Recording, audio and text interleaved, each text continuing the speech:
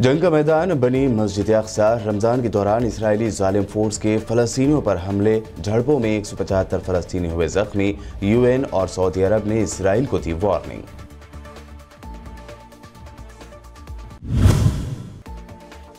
Israeli अड्डे पर हमले का इल्ज़ाम लगाते हुए इसराइली फौजियों ने तीन फलस्तीनियों को मार दी गोली। दो फलस्तीनी नौजवान मौके पर ही हुए शहीद। एक और दिगर हुआ जख्मी। माह रमज़ान की शुरुआत से इसराइली फोर्स का बढ़ा जुल्म।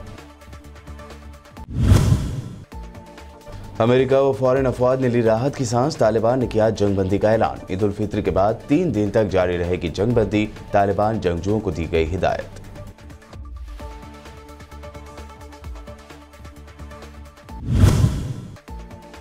दिल्ली के सीएम केजरीवाल ने वैक्सीन देने का मुतालबा करते हुए किया दावा, कहा मांग पूरी की गई तो पूरी दिल्ली को तीन महीने में लगवा देंगे वैक्सीन। बच्चों के लिए भी वैक्सीन का इंतज़ाम करने की एक्सपर्ट से की अपील।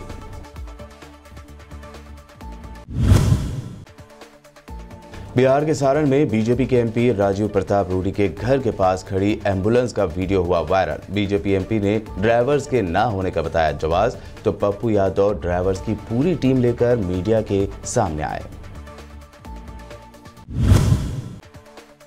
इस साल भी तेलंगाना में ईद की नमाज़ ईदगाह में नहीं हो सकती। असदुद्दीन ओवैसी ने दिया इशारा। मसाजिद में ईद की नमाज़ गाइडलाइंस पर अमल करते हुए पढ़ने की अपील की। साथ ही ईद के गले मिलने से परहेज करने का भी दिया मशवरा।